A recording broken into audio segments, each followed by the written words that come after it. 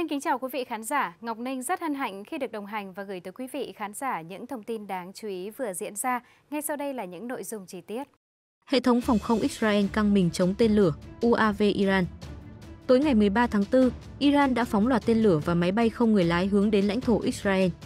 Truyền thông nước ngoài đã đưa tin kèm theo hình ảnh được cho là hệ thống phòng không của Israel ngăn chặn các tên lửa trên bầu trời Jerusalem.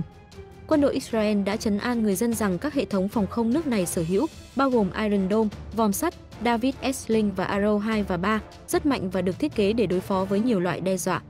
Israel có hệ thống phòng không nhiều lớp để đối phó với tên lửa, tên lửa đạn đạo và tên lửa hành trình cũng như máy bay không người lái. Tất nhiên, thử thách lớn nhất đối với hệ thống phòng không Israel là liệu nó có thể đối phó với một cuộc tấn công có quy mô lớn chưa từng có hay không. Hệ thống phòng không nổi tiếng nhất của Israel là Iron Dome, vốn đã đánh chặn hàng nghìn tên lửa và máy bay không người lái trong vài năm qua. Theo nhà sản xuất Rafael Defense Systems của Israel, Iron Dome có tỷ lệ thành công 90%. Đầu tuần này, Israel cũng lần đầu sử dụng phiên bản lắp đặt trên chiếm hạm của Iron Dome là C-Dome để đánh chặn máy bay không người lái. Để đối phó với tên lửa hoặc máy bay không người lái tầm trung đến tầm xa, Israel đã lắp đặt David S. Sling vào năm 2017 có tầm bắn lên tới 300 km. Israel còn có hệ thống tên lửa chống đạn đạo Arrow 2 và Arrow 3, được thiết kế để nhắm mục tiêu và tấn công các tên lửa đạn đạo tầm xa ở cự ly lên tới 2.400 km. Arrow 3 cũng được sử dụng để bắn hạ tên lửa đạn đạo trong không gian. Ngoài các hệ thống phòng không được phát triển trong nước này, Israel còn vận hành hệ thống phòng không Patriot do Mỹ sản xuất với tầm bắn lên tới 160 km và có thể đánh chặn hầu hết các loại tên lửa. Để chống đỡ tên lửa và UAV Iran tấn công, Israel còn có sự trợ giúp từ Mỹ. Trong khi quan chức quốc phòng Mỹ cho biết nước này tiếp tục bắn hạ máy bay không người lái do Iran phóng nhằm vào Israel. Lãnh đạo Hạ viện Mỹ nói rằng cơ quan lập pháp này sẽ xem xét luật hỗ trợ Israel vào tuần tới. Hãng tin CNN dẫn lời một quan chức quốc phòng Mỹ cho biết hôm 14 tháng 4 rằng Mỹ sẽ tiếp tục bắn hạ các máy bay không người lái do Iran phóng nhằm vào Israel. Quan chức này nhấn mạnh, theo cam kết chắc chắn của chúng tôi đối với an ninh của Israel, các lực lượng Mỹ trong khu vực tiếp tục bắn hạ các máy bay không người lái do Iran phóng nhằm vào Israel. Lực lượng của chúng tôi vẫn sẵn sàng cung cấp hỗ trợ phòng thủ bổ sung và bảo vệ lực lượng Mỹ hoạt động trong khu vực, quan chức này nói thêm. Trước đó, trên mạng xã hội 10, Bộ Quốc phòng Israel cho biết Tổng tham mưu trưởng lực lượng phòng vệ Israel IDF, tướng Herzi Halevi và tư lệnh Bộ Chỉ huy Trung tâm Mỹ CNTCOM. Tướng Michael Eric Kurila đã hoàn thành đánh giá toàn diện về mức độ sẵn sàng của IDF cho các hoạt động phòng thủ và tấn công trong mọi tình huống. Trong một diễn biến liên quan, cuộc tấn công của Iran vào Israel đã thu hút phản ứng nhanh chóng từ Quốc hội Mỹ, với việc Đảng Dân Chủ kêu gọi Chủ tịch Hạ viện Mike Johnson đưa ra xem xét gói viện trợ nước ngoài mà Thượng viện đã thông qua. Lãnh đạo đa số Hạ viện Steve Scalise cũng chính thức công bố bản cập nhật lịch trình của Hạ viện để xem xét dự luật hỗ trợ đồng minh Israel và buộc Iran phải chịu trách nhiệm mà không cung cấp thông tin cụ thể về luật đó sẽ như thế nào. Trong một tuyên bố đưa ra, ông Scalise cho biết thêm dự luật hỗ trợ đồng minh Israel sẽ được Hạ viện Mỹ đưa ra xem xét vào tuần tới và Mỹ sẽ buộc Iran cùng lực lượng thân Iran phải chịu trách nhiệm.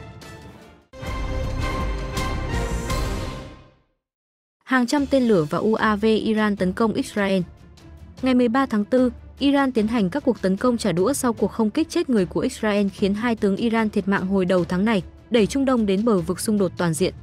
Quân đoàn vệ binh cách mạng Hồi giáo Iran, IRGC, chính thức công bố các cuộc tấn công rộng rãi vào Israel.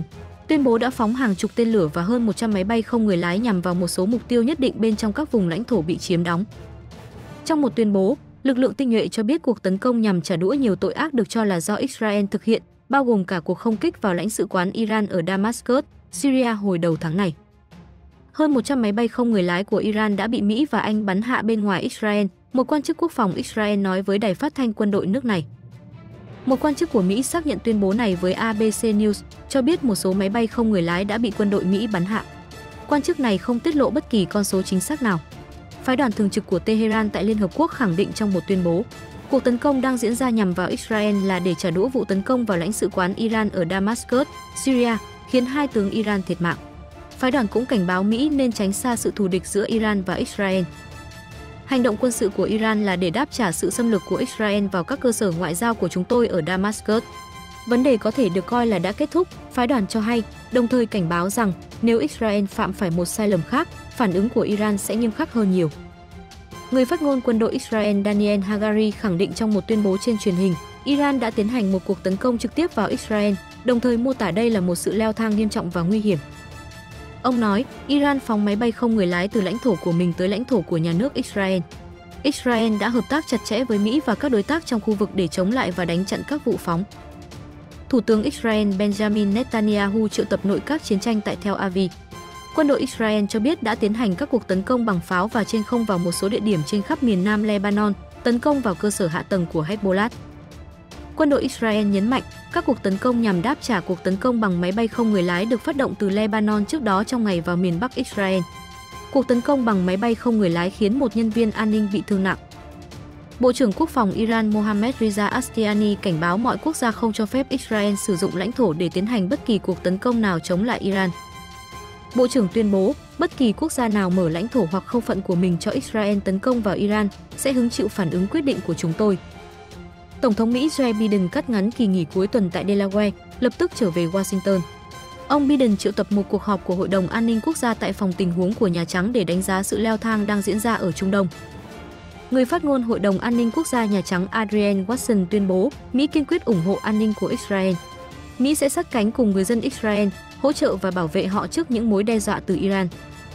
Hai quan chức an ninh nói với Reuters rằng các lực lượng vũ trang Jordan đang trong tình trạng cảnh giác cao độ và sẽ bắn hạ bất kỳ máy bay không người lái hoặc máy bay nào của Iran vi phạm không phận của nước này.